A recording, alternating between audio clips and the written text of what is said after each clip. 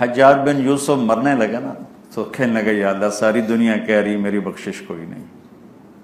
اور میں تو تیری آس لگائے بیٹھا ہوں کہ تو بڑا غفور الرحیم۔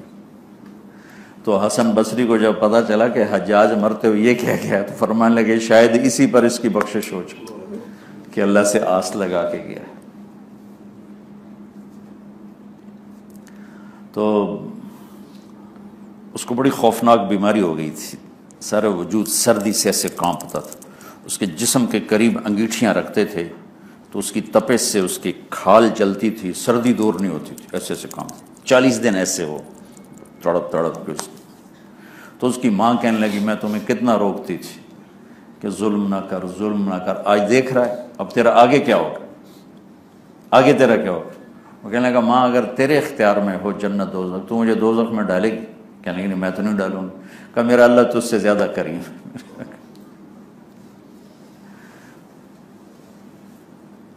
تو بھائیو، اللہ کی رحمت کی امید گناہوں پہ نہ لے جائے۔ جو اللہ بڑا کریم ہے، شراب پیتے رہو، جوا کھیلتے رہو، چوریاں کرتے رہو، سود کھاتے رہو، اللہ بڑا کریم ہے۔ اور اللہ کے غضب کی کا خوف نومیدی پہ نہ لے جائے۔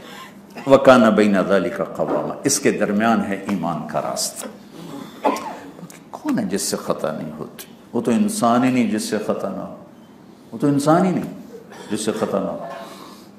انسان اور خطا تو اس لیے تو میرے اللہ نے کہا، توبہ کی نہ عمر کی شرط ہے، نہ عدد کی شرط اب ساٹھ سال کے بعد حکومت پاکستان ریٹائر کر دیتی ہے، تو بھی ریٹائر۔ تیری کوئی ساٹھ سال تو بعد تیری کوئی توبہ یا بھائی تو نے سو دفعہ توبہ توڑ دی، اب تیری کوئی قبول نہیں۔ کہ نہیں نہیں، جب آؤ گے ہم معاف کریں گے۔ جب آؤ گے معاف کریں گے۔ اللہ کو معاف کرنا اتنا پسند یا عباد کیا اللہ نے اس کے اندر شہد بھر دی۔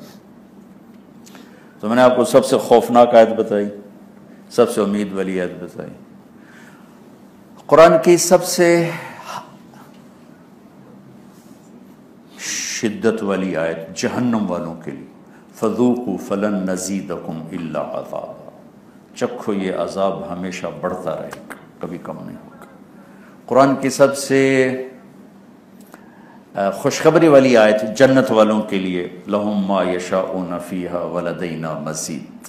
جنت میں جو چاہو گے پاؤ گے۔ پہ جہاں تمہاری چاہتیں ختم ہو جائیں گی، اللہ اپنے خزانوں سے مزید عطا فرمائے گا۔ قرآن کے سب سے زیادہ انصاف اور عدل کو بتانے والی آیت، ان اللہ یامر بالعدل والاحسان و ایتاء ذی القربى و ینهى عن الفحشاء والمنکر والبغش یعظکم لعلکم تذکرون۔ قرآن کی سب سے زیادہ حسرت بتانے والی آیت آدمی کبھی کوئی خطا کر بڑھتا ہے، کہتا ہے یہ کیا کر دی کبھی کوئی فیصلہ غلط کر بیٹھتا کاروباری نقصان ہو جاتا ہے ایکسیڈنٹ ہو جاتا ہے، تو آدمی کہتا ہائے ہائے۔ تو قرآن کی سب سے زیادہ حسرت کو بتانے والی آیت، یا ویلتا لیتنی لم اتخذ فلانا خلیلا۔ عجب آیت۔ یا ویلتا آ جائے تو لیتنی کی ضرورت نہیں۔ لیتنی آ جائے تو ویلتا کی ضرورت نہیں۔ عربی کے لحاظ۔ یا لیتنی، ویقول الکافر، یا لیتنی کنت تراب۔ یا ویلنا من بعثنا من مرقدنا۔ یا ویل الگ استعمال ہو رہا ہے، یا لیت الگ استعمال ہو۔ ایک جگہ دونوں کٹھے ہو رہے ہیں۔ یا ویلتا لیتنی۔ اتنی حسرت کا اظہار ہے کہ الفاظ کوئی نہیں، کسی لغت میں بھی۔ لیکن کس چیز پر حسرت ہے کہ میں کفر نہ کرتا، میں شرک نہ کرتا، میں شراب نہ پیتا، میں سود نہ کھاتا، میں ڈاکہ نہ ڈالتا، میں زنا نہ کرتا، میں چوری نہ کرتا، میں کبیرہ گناہ نہ کرتا۔ نہیں۔ عجب عجب۔ یا لیتنی، سب سے زیادہ حسرت کہہ رہا ہے؟ لم اتخذ فلانا خلیلا۔ میں برے کی سنگت میں نہ بیٹھتا میں بروں کی صحبت میں نہ بیٹھتا میں انہیں دوست نہ بناتا۔ اچھا خلیل عربی زبان میں اسے کہتے ہیں جس کی محبت دل کے اندر جا کے ٹھک جائے۔ اس کو کہتے ہیں خلیل۔ خلیل خلل سے ہے۔ خلل۔ یعنی یوں جگہ بناتے بناتے اب کوئی آدمی میری طرف آئے گا نا تو وہ سیدھا نہیں آئے گا، ویسے ایسے یوں زگ زیگ کر کے آئے گا، چونکہ اب سارے اکٹھے ہو کے بیٹھے ہوئے ہیں۔ اس کو خلل کہتے ہیں کہ یوں کسی کی محبت آئے اور دل کے پردوں کو چیرتے چیرتے اندر جا کے بیٹھ جائے۔ یہ بھولنے والی چیز نہیں ہوتی، یہ بھولنے والا نہیں ہوتا۔ خلیل نہیں بھولتا، دوست بھول جاتے ہیں۔ خلیل نہیں بھولتا، دوست بھول جاتے اس دن اس کو اتنی حسرت ہوگی کہ اس کا نام بھول جائے گا۔ لم اتخذ فلانن فلانن وہ فلاں۔ آگے کہہ رہا ہے، خلیل ہے تو فلاں نہیں ہو سکتا، فلاں ہے تو خلیل نہیں ہو سکتا۔ رسم راہو رسمی جو تعلق ہوتا ہے، وہ بھولتا ہے۔ کتنے لوگ ملتے ہیں۔ لیکن چند تعلق والے ایسے ہوتے ہیں جنہیں آپ کبھی نہیں بھلا سکتے، انہیں خلیل کہتے ہیں۔ اس کو اتنی حسرت ہوگی، بری صحبت اور برے دوست کی، کہ اس کا نام بھول جائے گا، کہے گا، یا لیتنی لم اتخذ فلانا خلیلا۔ ہائے، میں فلاں کو خلیل نہ بنا تھا۔ اتنا صدمہ اس کے سر پر سوار ہوگا کہ خلیل کا نام بھول جائے گا اور فلان کہے گا فلان لقد ادلنی عن الذکر بعد اذ جاءنی۔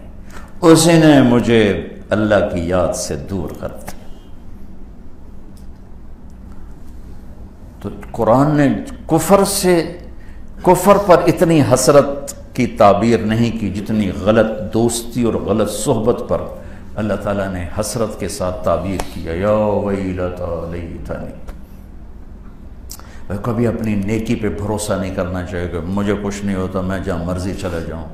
انسان پانی سے بنا ہے اور پانی جہاں جاتا ہے وہی روپ بنا لیتا ہے۔ بوتل میں ڈالو تو بوتل بن جاتا ہے، گلاس میں ڈالو تو گلاس بن جاتا ہے۔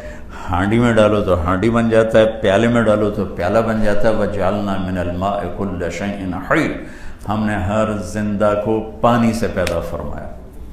وَاللَّهُ خَلَقَكُم مِّن تُرَابٍ، مٹی۔ تو مٹی بھی ڈھل جاتی ہے، پانی بھی ڈھل جاتا ہے۔ کبھی اپنے اوپر سوائے انبیاء کے کسی میں یہ طاقت نہیں کہ بری سنگت میں جائے اور اثر لے کر یہ نہیں ہو سکتا۔ کوئلوں کی دلالی کرے اور ہاتھ کالے نہ ہو یہ نہیں ہو سکتا۔ کوئلوں کی دلالی میں ہاتھ کالے کبھی اپنے اوپر اعتماد نہیں کرنا چاہیے۔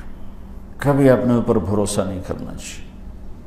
ہر وقت ہر وقت اپنے اوپر خطرہ، جب تک سانس میں سانس۔ ہے تو اس آیت نے بڑا خوبصورت میسیج دیا ہے کہ اچھی سنگت اختیار کرو، اچھی صحبت میں بیٹھو۔ ماحول اثر کرتا ہے۔ عمل تم خود نہ کرو، لیکن دیکھنے والوں کو دیکھو گے نا تمہارے اندر اس کی نوسط آتی جائے گی، آتی جائے گی یہاں تک کہ پھر تمہارا قدم بھی اٹھ جائے گا۔ کہ شیطان ایک دم نہیں انسان فد اللہ بغرور۔ شیطان بڑا کھلاڑی آدمی۔ دلہ اور عدلہ قرآن نے دو لفظ استعمال دلہ اور عدلہ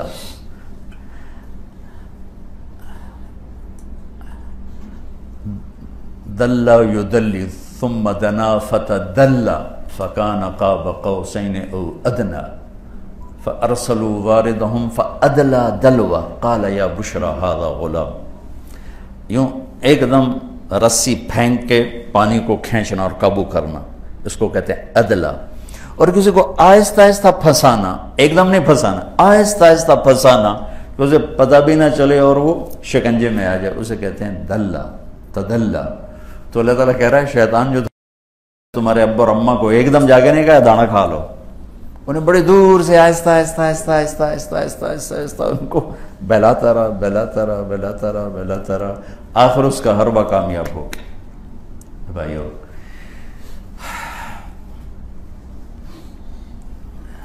غلط صحبت، غلط سوسائٹی کے سامنے صرف نبی ٹک سکتا ہے، باقی کو نہیں ٹک سکتا۔ ایسے ریت کی طرح بہ جائیں۔ ہاتھوں سے تقوی یوں نکل جائے گا جیسے ہاتھوں سے ریت نکل جاتی، ایسے نکل جاتی۔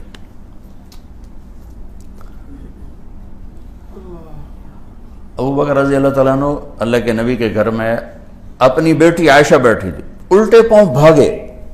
کہا، ابا جی کیا ہوا؟ کدھر سے بیٹی کو دیکھ، الٹے پاؤں بھاگ کے ابو بکر سے بڑھ کر کسی کا ایمان ہو سکتا۔ تو یہ قرآن کی عجب آیت ہے جو بری سوسائٹی، بری مجلس، بری صحبت پر الارم الارم ہے کہ بڑے سے بڑے پگھل کے رہ جاتے ہیں اگر اپنے آپ کو تنہا کسی ماحول میں ڈال دیں گے۔ ہمیشہ اپنے اوپر اچھوں کی صحبت اور سنگت کا سایہ رکھنا چاہیے۔ فینا دعوت ہوں تو ہی تو